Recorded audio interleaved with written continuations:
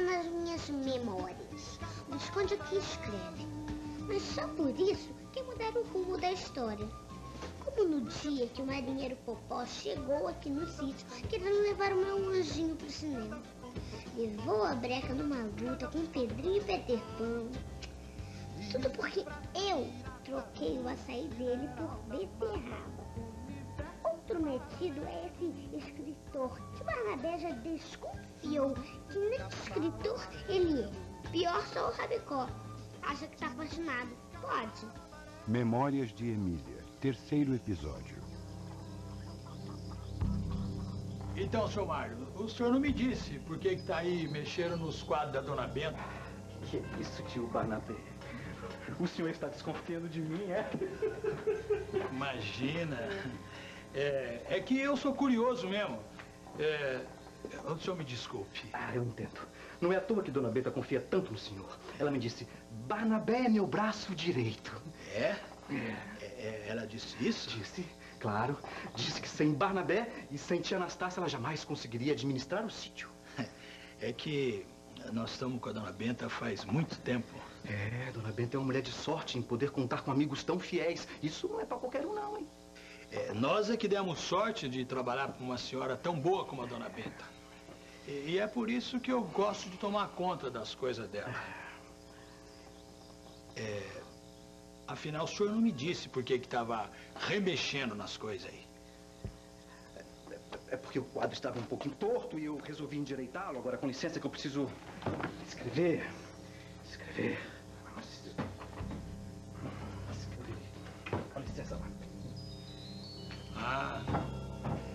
É isso, é? Isso mesmo. Agora eu me lembro exatamente como foi. Depois de mostrar para Pedrinho, Narizinho e Emília a minha invenção, o periscópio do invisível, resolvi dar algumas explicações científicas sobre o aparelho.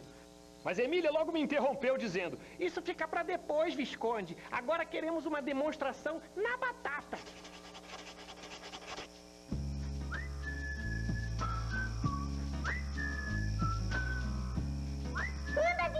Mostra como é que funciona esse troço. Senão eu quebro essa jossa. Primeiro vocês precisam escolher o que querem ver. Vamos ver os duendes e as fadas. Dizem que onde tem cogumelo, chapéu de sapo, vivem um monte de duendes e fadas. Ih, essa ideia é minha. Não é nada, eu que falei. Mas eu já tinha intuição dela. Só não disse por preguiça mesmo. Vamos lá. Perto da cocheira da vaca moxa, tem um monte de cogumelo. Eu vejo sempre. Então vamos até lá. Estão vendo! Estão vendo! Estou vendo sete anõezinhos. Não, quer dizer, são sete sacizinhos de carapuça vermelha e preto na boca. Estão fumando e conversando. Tem um que parece o. Que não é o seu amigo não, Pedrinho. Que é moreco. Agora sou eu, Emília. Peraí, começando uma briga. Ai, o chefe bate no chão e pede ordem. Os outros estão de pernas cruzadas. Ah, como é que eles podem estar de pernas cruzadas se Sati só tem uma perna? Não sei, só sei que estão de pernas cruzadas. Ela tá mentindo. Não tô nada. Hum. Hum. Hum. Já fizeram as. Parece que agora estão combinando as travessuras que vão fazer durante a noite. Estão se divertindo. Eu também. Chega, Emília, agora sou eu. Olha, os cogumelos são as casinhas, cada um tem uma. Chega, Emília, você quer tudo pra você, só pra você. Deixa eu Emília, usar esse periscópio aqui. Ei! Assim vocês vão acabar! Quebrando meu periscópio. As crianças logo fizeram as pazes, mas eu tive um enorme trabalho para consertar o aparelho. Cansado, fui dar uma volta no pomar e desapareci. Foi um drama. Todos ficaram muito preocupados. A casa de Dona Benta ficou muito triste sem o grande sábio Sabugosa. Era um lamento só. Essa parte do livro de memórias da Emília está excelente. Ai, Anastácia. Boa tarde, Banana. Tem aí um cafezinho? Ih, fresquinho, chegou na hora certa. Pode pegar aí no bule, se servir. Só vou pedir um favor pro senhor. Dá uma espiadinha, vigia essa panela aí pra mim. Enquanto eu vou levar esse lanchinho lá pro seu Mário. Não precisa se preocupar, tia Ah, Anastácia. já. Eu não quero dar nenhum trabalho, eu mesmo levo a bandeja. Olha só, tá aqui o, o bolinho de milho e aqui o café fresquinho. Já estou até com água na boca. A senhora é mesmo uma fada. Uma fada, tia Anastácia. Que isso? Ah, viu só? Fada, eu. Que moço bom, hein?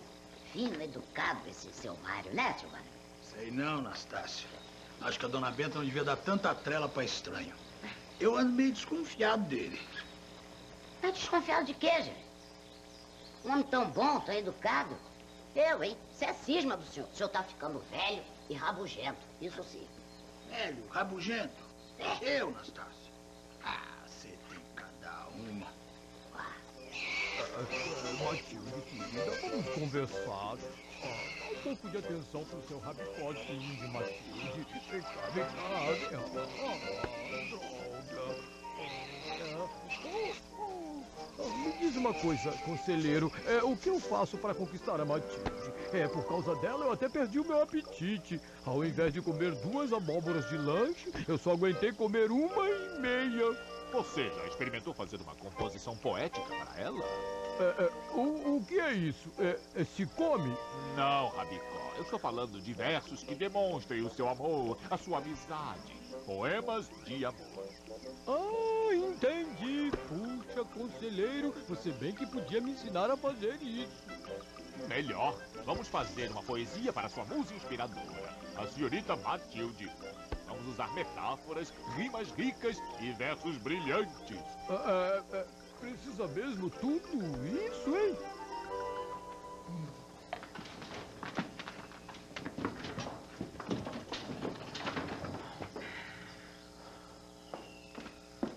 Mário, você precisa caminhar pelo sítio. O final de tarde está tão agradável. Muito obrigado, dona Benta, mas eu preciso continuar escrevendo meu livro. Você prefere usar meu computador? Olha, o Visconde e Emília estão lá na biblioteca, mas eu posso pedir para que saiam. Não, obrigado. A senhora é a melhor anfitriã do mundo, mas eu, eu prefiro escrever à mão. Mas nem máquina de escrever você usa? Eu prefiro escrever à mão mesmo. Eu sou um escritor à moda antiga. Muito antiga. Muito, muito antiga. Mas de qualquer modo, muito obrigado. A senhora é fantástica. Imagina, mas mas que bobagem. Sei não. Eu tô meio desconfiado desse escritor mecânico.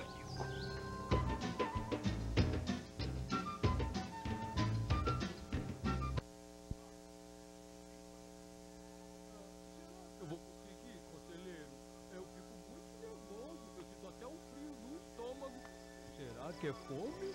Você quer ou não quer conquistar a Matilde? É claro que quero. Então vamos lá. Repita comigo. Matilde é uma flor do jardim a mais bela. Quero muito seu amor, ela é a minha donzela. A minhoca, quando nasce, se enterra pelo chão. Carrega um milho no bolso e a Matilde no coração. Matilde, eu sabia que eu ia te conquistar. Toma, eu, eu trouxe esse buquê de couve-flor pro seu jantar. Aliás, seu não, né? Nosso! Toma pra você. Um pouquinho, agora pra mim. E aí, Visconde? Como andam minhas memórias? Você passou a tarde inteira trancafiado aqui dentro. Espero que tenha feito o trabalho direito. Eu estou contando a parte que eu sumi, Emília. Você lembra? Se me lembro, quase deixou eu, Pedrinho Narizinho loucos. É uma parte que me comove muito. Mexe muito com as minhas emoções. Todos sofreram muito com a minha ausência. Diga essa parte. Como sumiço do Visconde, eu tive a grande ideia de usar o periscópio. E eu pedi ajuda para um dos sete sacizinhos que eu tinha visto. Pedrinho, que já era craque em caçar sacis, armou a peneira e nós esperamos o...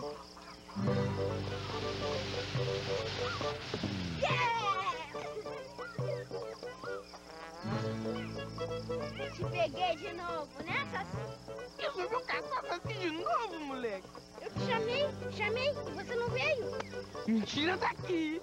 Ainda não. Nós precisamos da sua ajuda urgente.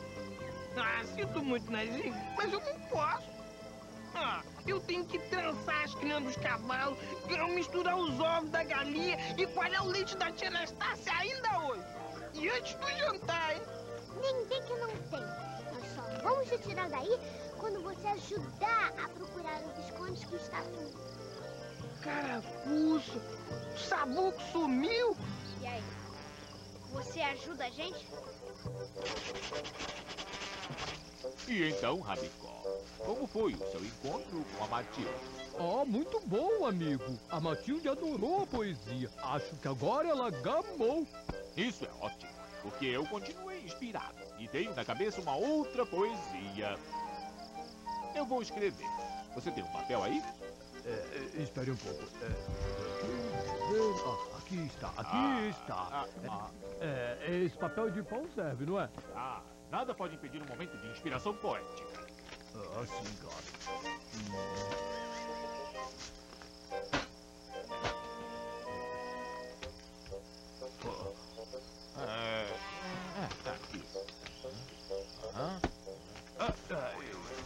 Obrigado, amigão. Eu vou guardar no bolso e depois do meu lanchinho vou procurar a Matilde. Só se demorou, mas acabou. Ajude-me. Cansei, Visconde. Termina a história enquanto eu vou pensando na outra. Deixa comigo. O sítio não era mais o mesmo sem o grande sábio Visconde de Sabugosa. Isso já foi, Visconde. A história tem que andar pra frente, senão vira uma história carangueira. Ah, mas você não disse que eu podia continuar, ora? Olha, Visconde! O álbum que o Pedrinho fez do Tony Power. Não me atrapalhe, Emília. Estou numa das partes mais importantes de nossas memórias. Das nossas, vírgula, das minhas memórias. E termina logo isso que eu quero contar o meu encontro Mas, Emília, você nunca encontrou Tony Power. No livro de memórias, nós só contamos o que já aconteceu. Comigo é diferente. Eu conto o que deveria ter acontecido, não o que aconteceu. Termina logo essa história. Conta que o Saci fez um redemoinho e saiu pelo sítio procurando você.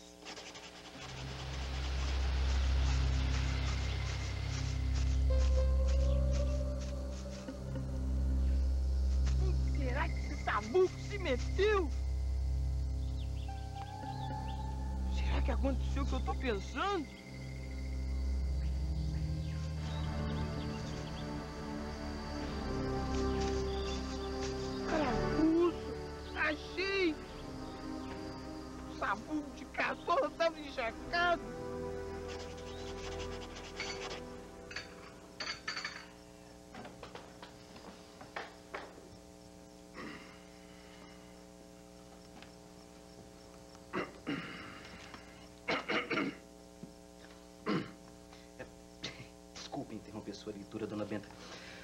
Mas eu estou com um problema numa das passagens do meu livro e eu acho que a senhora pode me ajudar.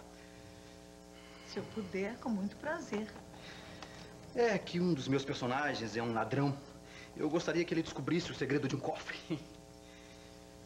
É história policial? Não. Quer dizer, um pouco de mistério sempre enriquece uma trama, não é? Sem dúvida.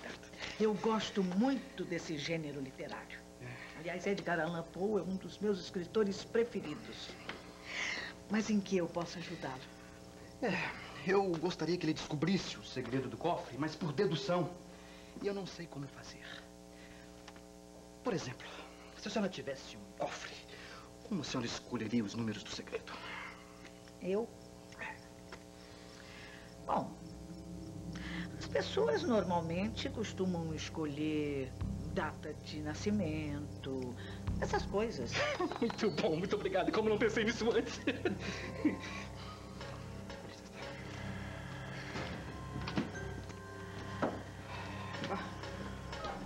Já é tarde. Eu vou pro meu quarto. Você pode ficar à vontade, viu, Mágica? Boa noite. Boa noite, dona Pita. Muito obrigado. Nada. Boa noite. Boa noite.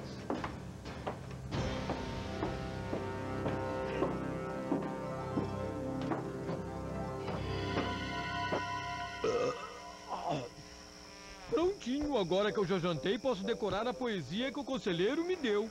A Matilde vai ficar gamadona por mim. Hum. Hum, mas, hum, mas que delícia, essa poesia está com um cheirinho de pão delicioso.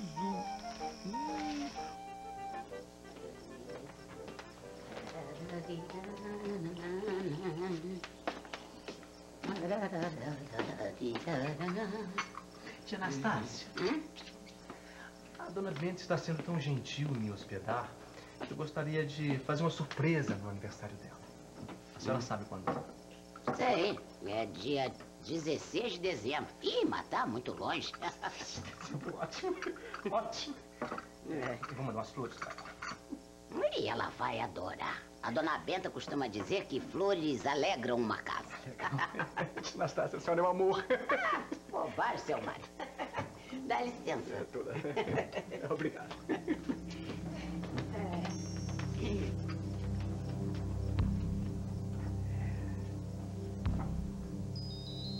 O Saci havia esclarecido o mistério. Eu saí para respirar ar puro e me recostei debaixo de uma árvore. Aconteceu o pior. Uma jaca caiu exatamente em cima da minha cabeça. Foi muito engraçado o Visconde enjacado. Um doce de jaca misturado com milho. Agora você tá rindo, né?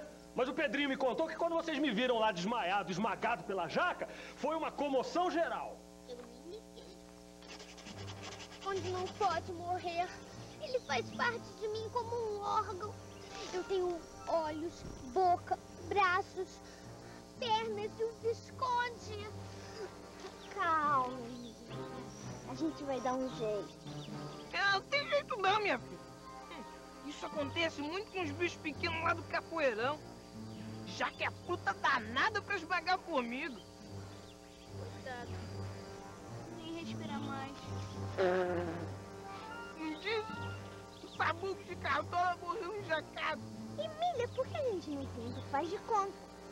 Vamos fazer de conta que o Visconde está vivo. Boa ideia! Quando eu contar de um até três, todo mundo fecha os olhos e pensa com tudo. Um, dois, três.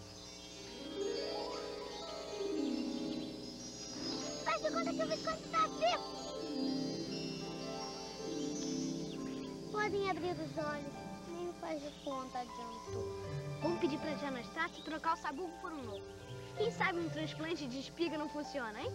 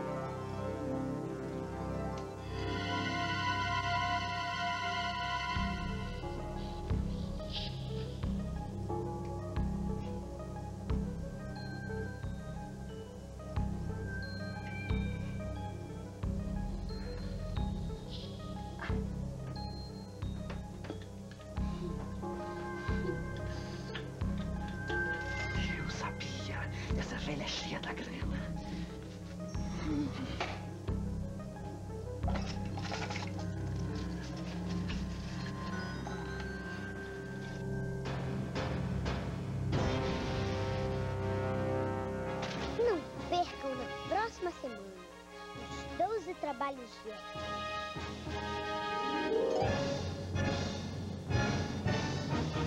Uma história de ação e aventura. Fique ligado. A gente volta amanhã, mas você pode continuar ligado no sítio. É só acessar nosso site www.lobo.com/sítio. Te vejo lá. my melody.